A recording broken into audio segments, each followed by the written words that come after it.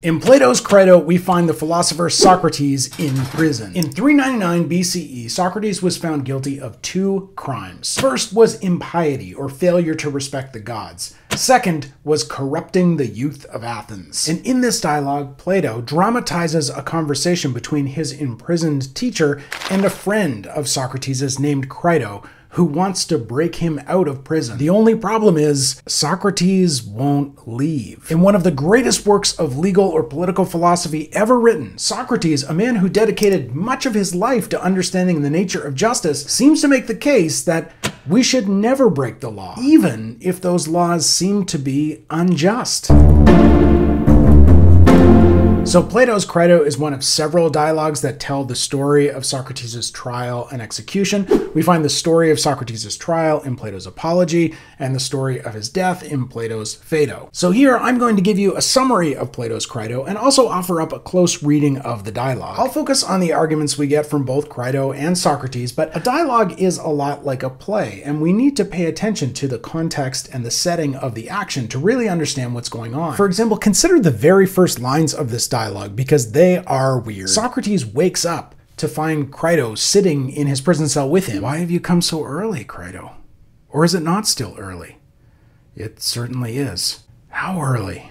Early dawn. The reason this is odd is because just a short time later, Crito is going to reveal that he's in a rush. He's there to break Socrates out of prison, and they need to go right now because Socrates could be executed at any time. But think about this if Crito is in such a rush, why doesn't he wake Socrates up? Why is he just sitting around waiting for Socrates to rouse himself? This is a puzzle, and I think the solution to it actually tells us something important about this dialogue, but we'll get to that in a minute. So Crito is here to persuade Socrates to leave.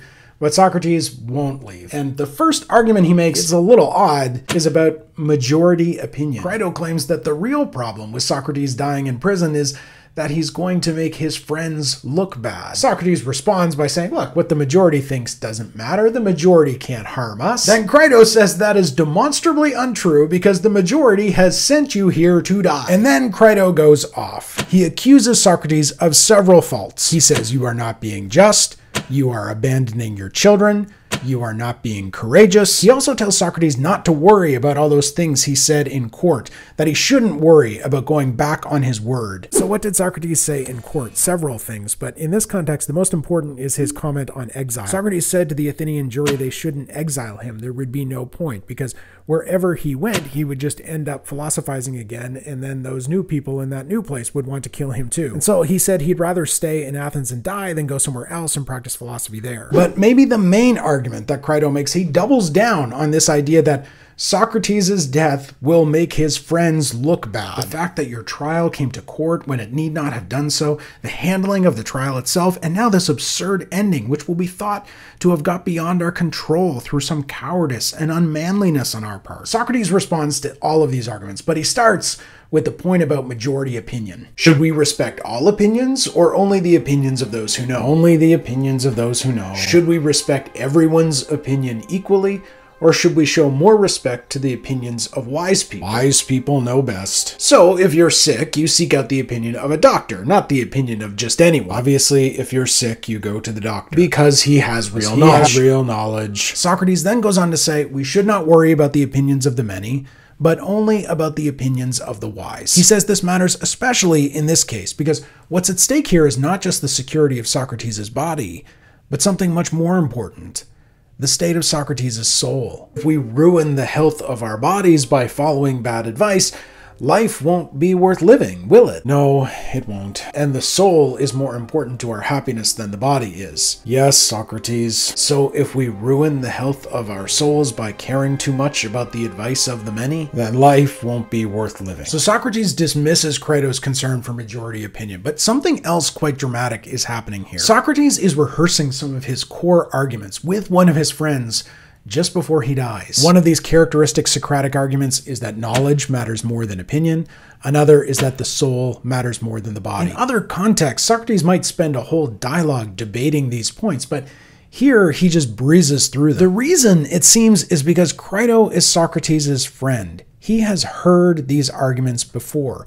He knows these things. Socrates is telling Crito things he already knows. And here I think it becomes clear why Crito was reluctant to wake the sleeping Socrates. Crito was ashamed. Crito doesn't want to wake Socrates up in his jail cell because he's ashamed. He's ashamed to ask his teacher to break the law. This, I think, is signaled early in the dialogue when Socrates asks, With actions just and unjust, shameful and beautiful, good and bad, about which we are now deliberating, should we follow the opinion of the many and fear it, or that of the one, if there is one who has knowledge of these things, and before whom we feel fear and shame more than before all the others. Socrates, I think, is the one who has knowledge of these things, and Crito is ashamed to ask him to do the wrong thing. But Crito is also human.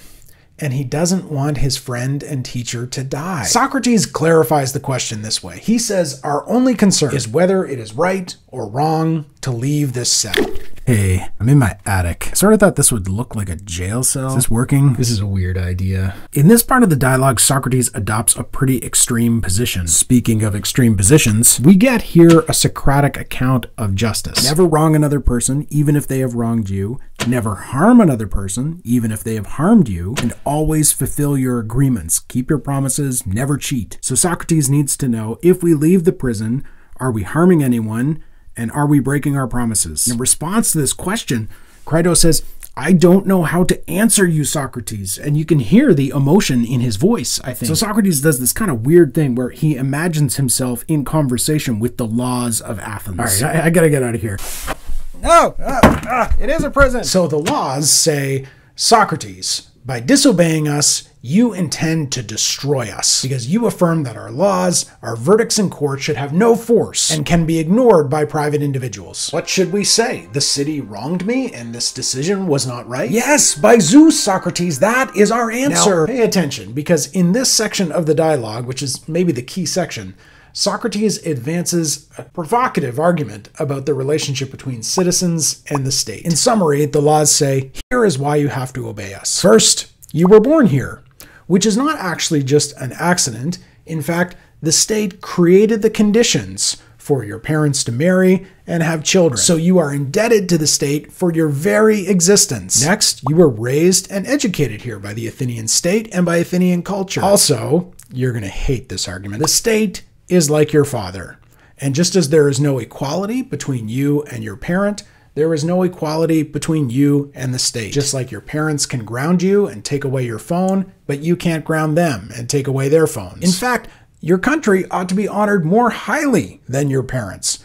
You have no right of retaliation. If the state decides to destroy you, it can destroy you. You have no right to destroy the state. You must either persuade the state that what it's doing is unjust or obey. There's actually something very tricky going on in this laws argument, so we have to come back to this later and kind of flip this whole thing on its head and take it apart. But for now, let me just finish up with Crito's objection. The main thread here is that you are indebted to your country. Do you find this persuasive? I think as moderns, and particularly as liberal Democrats, we often perceive government to be by nature intrusive. So this argument is unlikely to persuade people like you and me, but I'm curious what you think. Because the laws here have another trick up their sleeve. Do laws have sleeves? The laws say, you know, Socrates, if you didn't like us, you were free to leave at any time. And this is a pretty strong argument because Socrates, as you may know, famously never left Athens unless he absolutely had to. He did not go on weekend getaways, no road trips. Socrates stayed home. Socrates, we have convincing proofs that we and the city were congenial to you.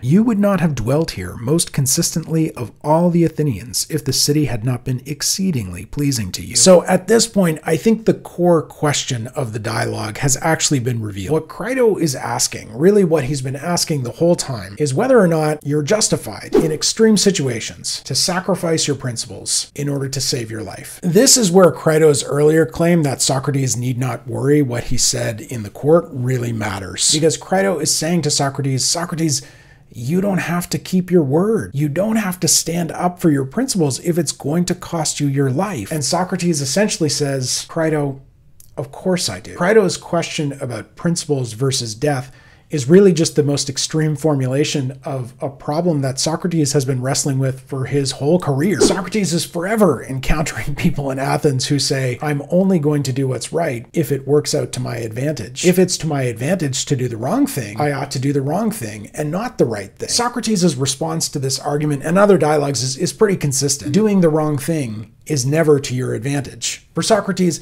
it's always to your advantage to do what's right, because your soul matters more than your body, and doing the wrong thing does harm to your soul, even if it benefits your body or your material condition. So, making money in some unjust way is by definition not advantageous to you. It's actually disadvantageous because it does damage to your soul. It seems that Socrates has said, You ought to obey any unjust law, obey every unjust law suffer any injustice, and you have no right to oppose the regime even if they're doing something unjust. The strangest thing about this to me is that the state is allowed to make mistakes while the individual is not. So Socrates holds himself to a much higher standard than he holds Athens.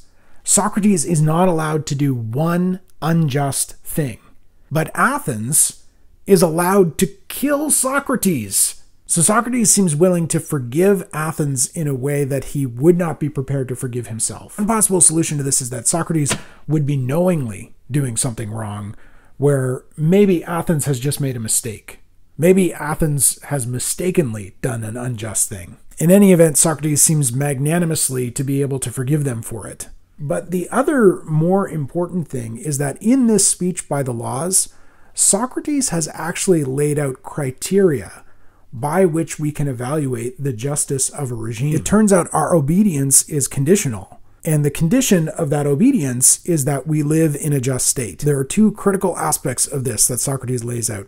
The first is that you are free to leave the regime. You're free to leave at any time. The other, and the laws affirm this repeatedly, is that you have opportunities to persuade the laws that they are unjust. So that seems to point to some kind of democratic process, or at a minimum, at least not a tyrannical regime. So it's under these specific conditions that you must obey the laws. If you enjoy thinking about political philosophy, I've got a whole playlist on that stuff over here. You can check it out. I'll see you there. Talk to you soon.